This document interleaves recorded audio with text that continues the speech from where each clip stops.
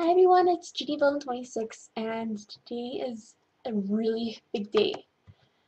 I don't want to speak too loud in the speaker, but after five months of searching and searching, I found her. Mango Tiki Wiki! I don't know if you can see her. Mango Tiki Wiki! I'm so happy to find her. And I want to see if I can attempt to unbox her using the YouTube live upload. Because my webcam was being a dummy head earlier so I'm just gonna unbox her like this. So stick with me kids. Ready set let's go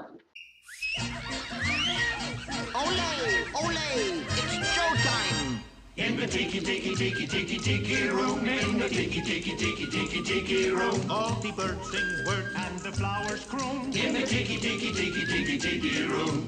Welcome to our tropical hideaway, you lucky people, you. If we weren't in the show starting right away, we'd be the audience too. All together in the tiki tiki tiki tiki tiki room, in the tiki tiki flowers croon. in the tiki tiki tiki tiki tiki room. I sing so beautiful, I should sing solo. See, so low we can't hear you. My voice may not be so marvelous, but my profile is out of this world. Jawohl, but the trouble is, it's not far enough out of this world. Isn't that right, Herr Schmidt? Oh, I see, Schmidt has no hair. Mi amigo, stop the clucking. You sound like a bunch of old hens. There's a lot of birds waiting to go on. For instance, The boys in the back are called macaws. because of their claws. No, because they're macaws, and our fine feathered friend is a jolly too.